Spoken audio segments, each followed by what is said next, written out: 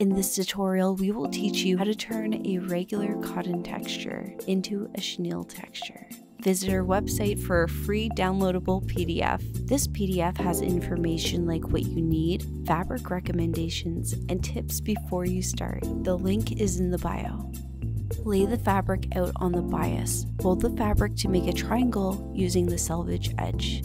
Lay the ruler on the fold 4 inches using the rotary cutter Cut the first piece the full length on the fold at 4 inches. Place this piece aside, right sides up. Mark the next strips at 8 inches wide with the ruler, following the previous line and place aside right sides up. Continue to cut the strips at 8 inches wide until reaching the end of the piece of fabric.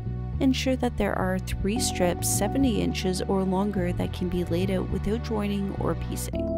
The other two strips can be pieced together to create five 70 inch strips. Cut the strips as long as possible, even if cutting through two layers.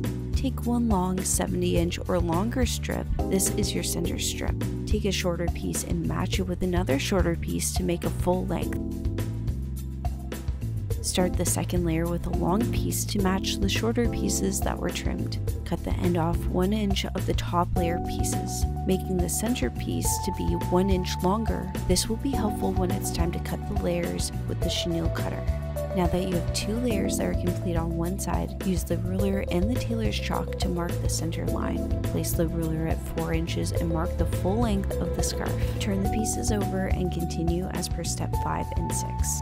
Set the stitch length to 2.5 to 2.8 using the chalk line stitch down the length through the center of all layers. Backstitch at the start and end of each stitch line. The stitches should be in parallel lines, either 3 eighths of an inch to half an inch from your first stitch line. Continue stitching until you've reached the outer edge.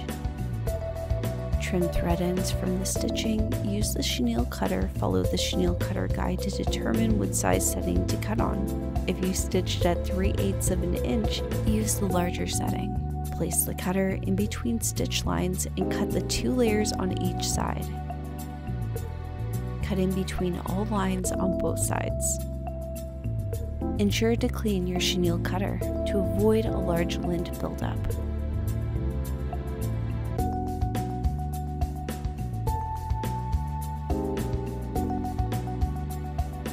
Trim the side edges to half the stitch width or a quarter inch. Also, cut the ends so they are even.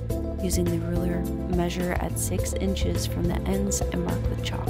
Adjust the length if wanted. Using the scissors, cut the end edge to the chalk mark in all rows to make the fringe on both ends. Machine wash and dry on normal settings to complete. The raw edges will fray to create this beautiful chenille look. Happy sewing! Post your creations on Facebook and Instagram and tag us at Fabricland Canada.